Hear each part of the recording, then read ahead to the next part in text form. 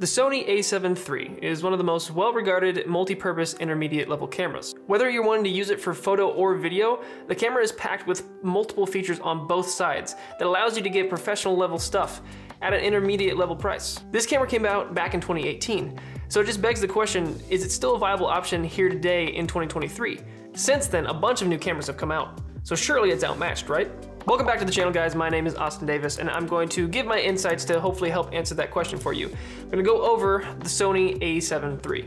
I've personally had mine since 2019 and I've used mine for numerous projects, both photo and video alike. So while I'll definitely have different opinions on certain things, I'm sure, my hopes is that my insights will be able to help you make a decision on whether or not this is worth the investment or if it's not. The Sony a7 III is a $2,000 full-frame mirrorless camera sporting a 24 megapixel sensor capable of shooting 1080p and 4K footage. It shoots 1080p at 24, 30, 60, and 120 frames a second, and it shoots 4K at 24 and 30 frames a second. The camera's lens mount is Sony's E-mount, has 693 focus points, and has an electronic viewfinder and tilting screen. The resolution of the viewfinder is about 2.3 million dots, and the resolution of the LCD screen is about 921,000. The camera is able to shoot 10 frames a second in its continuous drive setting and can handle about 710 shots per fully charged battery. On the left side of the camera you can find a microphone and headphone jack, micro HDMI port, Type-C and micro USB port. The camera sports two SD card slots on the side, and has multiple custom function buttons all across the body, including two preset modes on the top dial. But thanks to Sony's menu, you can really customize any button you want on this. Now that we have the basic stats of the camera out of the way, I just kind of wanted to take a second to talk about the overall build quality and just the design of the camera in general. Um, I have two major complaints.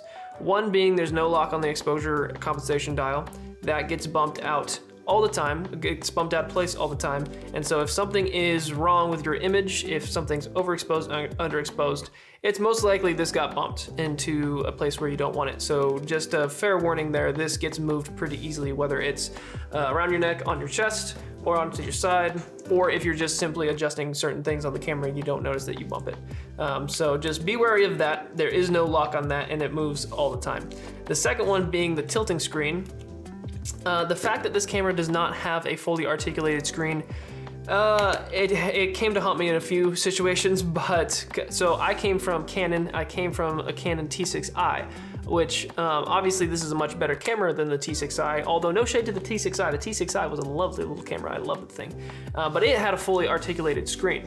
And so coming from that to just a tilting screen, I was a little bummed and I kind of had to remember, especially if I was trying to say shoot myself, um, or just get, it, it, sometimes if you're really low and you're shooting vertical, you'll, it would be very helpful to have a flip out screen to where you can, you know, see your screen, but it doesn't.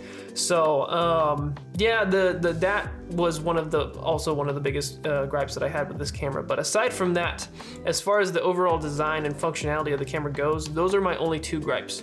Um, oh, three, I should say. There is a third. Um, the two little neck strap um, attachments on the side. They will start out rigid, um, but take them off. Take them off if you're gonna do video, take them off. Do yourself a favor because um, I didn't understand, or at least when I first got it, um, I wasn't even thinking about them jingling around. Like I, I would hear them, but I wouldn't think about, especially if you're using a mounted microphone on top, all you're gonna hear throughout your whole shoot are those little things jingling. So do yourself a favor, just take them off. If you're going to specialize in um, video, take them off. And also even photo, because just get yourself a strap that attaches down here. It's better anyways. Um, so those are the main three things. Uh, the exposure compensation dial, the tilting screen, and the two little neck straps. The, those were the three things that just design-wise I, I could not stand. Otherwise, everything else was great. I don't mind the feeling of the camera. I know some people coming from maybe bigger DSLRs, um, if you're going to a mirrorless camera in general, it's gonna feel probably a little bit cheaper than your DSLR because it's gonna weigh less, but I didn't necessarily experience that. Um, it feels pretty good in the hand. It, it doesn't feel cheap by any means. Um, the only things that are a little cheap and I feel like might break uh, are gonna be your little flaps on the side here. Uh, just be careful with them. Uh, the, your little covers for all your ports, they feel, I feel like they could break pretty easily. Your SD card door, I wouldn't trust and much pressure to break this if it was going this way, so be careful with that. And then your battery compartment door as well. This just feels really flimsy and I feel like I could break it going this way. It does come off, but I wouldn't want you to break those little tabs that hold it on there because then you wouldn't be able to put your, your battery door on. Um, other than that, really, really pleased with the overall quality of it. I've actually dropped it a few times and it's taken a few spills. Um, like a champ, like a champ. On this corner right here, uh, you probably won't be able to see it, but there's a little mark right there. Um, and then where else? Uh, I think it's just this corner is where I dropped it. I, oh, it took a spill on this side too. But uh, it, uh, it held up quite well. So very, very pleased with the build quality and the overall layout for the most part. Let's talk about using this camera for photos. Um, like I said earlier, it's got a 24 megapixel full frame sensor, so really good quality coming out of this camera uh, for photos. You get plenty of detail, um, and then depending on whichever lenses you get, you get depth and all that, but that comes with the lens. Um, it's, I primarily use this for real estate now um, as far as my work goes. I've also done portraits, landscapes, product, a whole bunch of stuff with this for photos and it does a great job. A lot of the stuff on the photo side is going to be your lighting and your lenses and all that. So there's a lot that goes into the photo side of things that's, you know, more than just the camera body. Um, but this does everything I needed to for photos. The landscape pictures look great. Um, your portraits look great. And, uh, and me personally, I know a lot of people compare the colors to Canon and other places. You know, Canon is kind of superior when it comes to the color science game. Um, and I will agree that Canon's colors for photos do look better. Um, I, I, I can't really disagree there, but I think these look just fine. They really do. The colors that come out of any of the Sonys that I've used look great. And then with a little bit of tweaking, you can get them to Canon status if you really play around with it. The colors that come out of it look just fine. Moving on to the battery life, like I stated before, it's about 710 shots or so per fully charged battery. And if I'm being honest, I feel like it might even be more than that. Um, I've pretty much uh, only used two batteries for my whole entire career using this camera and I never really had to worry about running out of battery life. Um, a battery grip, I got the Sony um, EV, what is Z3, whatever battery grip they've got, um, and that basically lives on this camera now. I don't have it on there now, but um, two batteries is going to get you through any kind of shoot you need, whether it's photo or video, really. Um, battery life is phenomenal um, on this camera. Let's talk about video. For this segment, I wanted to do a blind comparison between this camera and then my Sony a7S III that I use for all my video projects. Um, I'm gonna play two separate edits and then I'm gonna let you guys guess which one you think is the a7 III and which one you think is the a7S III. So here are those edits.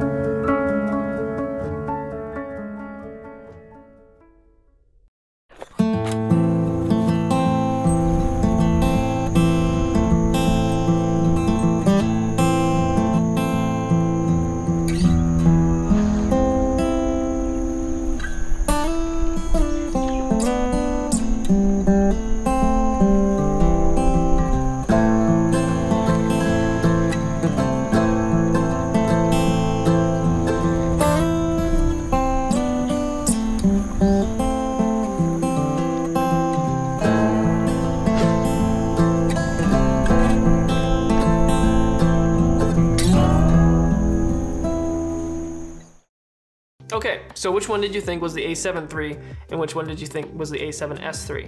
Well, the first edit was actually the A7S III and the second edit was the A7 III. And in my personal opinion, The second edit is way better. and now, that you know, you might think different. You might actually think the a7S III looks better. Um, and I guess with certain, so with certain shots, it does. Um, but overall, the second edit that I did with the a7 III is miles ahead of the first one. and there's multiple reasons why. The first edit didn't really have any subject matter at all. It was shot in broad daylight, so not the, the best lighting scenario. Um, it was shot at like F9 uh, to compensate for that.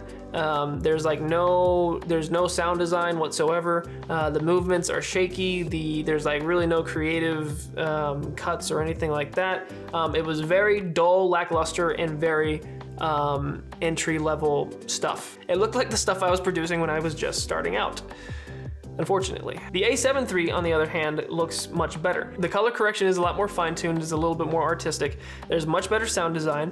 The shots have purpose behind them. There is a clear subject matter. It's a man fishing, it's my buddy, uh, fishing, and there's all just a lot of other things that go into that edit that make it much better than the first. Maybe not necessarily the quality of the images that you're seeing, but it's definitely the quality in the production that was put behind it.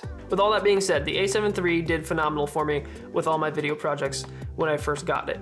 Um, like I said, I came from T6i, and so the quality jump, I remember looking at the footage, the first, with after the first shoot I did with the, uh, with the A7 III, first video shoot that I did, I was looking at that footage and I was blown away. I just did a simple edit of my buddy, same buddy that was fishing. I did a, a video of him just playing guitar out in the middle of like wilderness and um, the video is extremely overexposed. It, like it's it's bad. It looks bad. I, I didn't color correct it or anything like that at all. And obviously you're gonna see that boost in quality. You're coming, you know, I'm coming from a crop sensor uh, that only shoots 1080 at like 30 frames a second to something that can shoot 4K up to 30 frames a second, 1080 at 120. So I mean, yes, there are times where the the functionality and the the stats and the specs of the camera um, they're gonna wow you you know they've got that wow factor especially if you're if you've been working on something for a while but that being said that first project that I did was it looked terrible.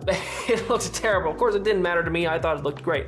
Um, but it did look terrible. So um, it goes a long way to master what you're using before you upgrade. It, it'll set you way ahead of the game because if I had actually stuck with my T6i for a really long time and just utilized that before jumping to uh, this a, a, more intermediate level camera with settings that I really didn't understand, I probably would have progressed a lot faster and probably would have been even better today um, had I not made that jump so quick. So as this camera gets older and is kind of kicked into that older, maybe cheaper hard to believe two grand is like cheaper, but cheaper category of cameras, um, it's gonna get disregarded as, um, you know, maybe not as good as some of the other options out there, which is entirely false. There are plenty of other cameras out there that are better than the a7 III, yes. And while the a7 III might not do video phenomenally, or might not do photo phenomenally, it does both very well. And that can go a long way, especially if you're just starting out um, or looking to go into that more intermediate level. In my opinion, the a7 III can still go toe to toe with any camera in its price range. And I know I'm gonna use mine for years to come. That's it for today's video, guys. Thanks so much for watching. I hope you got some value from spending your time with me today. Now go enjoy your life, and I'll see you in the next video.